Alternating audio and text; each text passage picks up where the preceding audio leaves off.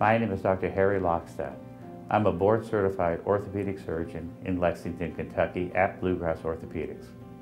Some of the most challenging problems that we see are those related to the sacroiliac joint. I'd like to talk to you a little bit about that today. The sacroiliac joint is located in the pelvis.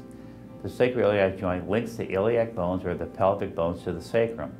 This also has a very limited amount of motion. Like any other joint in the body, wear and tear can occur and the joint can wear out. We call this degeneration. Common symptoms that are associated with sacroiliac joint pain include severe lower back pain. The pain is in the lower part of the back and very often into the thigh.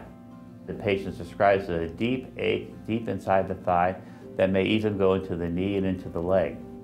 Patients have extreme difficulty with sleeping. They can't get their leg up or move around because of the severe pain that's caused. They can't sit very long. They can't stand very long. They have difficulty getting in and out of bed, getting in and out of the vehicle. Studies suggest that 30% of lower back pain is coming from the sacroiliac joint. 40% of patients who have previous spinal fusions will develop sacroiliac joint pain. The diagnosis of sacroiliac joint pain has five components. The first component is the history and physical examination. History of back pain with leg pain, worse with sitting, standing, walking, getting out of a chair. The examination showing severe pain in the sacroiliac joint with not any pain localized to the lumbar spine or the hip joint. There's a test called the Fortin finger test. The patient will point to exactly where the pain is. Physical examination, then doing some provocative tests to see if I can reproduce the pain. And then lastly, injection of the sacroiliac joint with local anesthetic see if relieves the pain.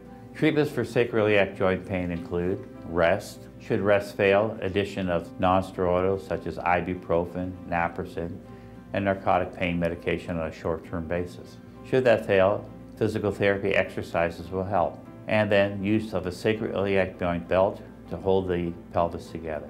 For those patients which have chronic debilitating pain where non-surgical treatment has not helped, they would now become a candidate for surgical treatment of the sacroiliac joint. At Bluegrass Orthopaedics here in Lexington, Kentucky, surgical management of sacroiliac joint pain that has not responded to non-surgical care would involve minimal invasive fusion of the sacroiliac joint. The procedure that I use is the one manufactured through the SI-BONE company. The incision is approximately one inch long. Then under x-ray control, I'm able to place three of these small fixation pins into the sacroiliac joint. This immediately stabilizes the sacroiliac joint. There are more than 30 published peer-reviewed articles demonstrating the safety and the effectiveness of the iFuse implant system. The iFuse system is the only SI joint fusion system with clinical studies demonstrating that treatment improves pain, patient function, and quality of life. 90% of patients said they would definitely have it done again. Since 2012, I have done over 350 procedures. The patients continue to have a good result with long-term symptomatic relief of sacroiliac joint pain using the iFuse system.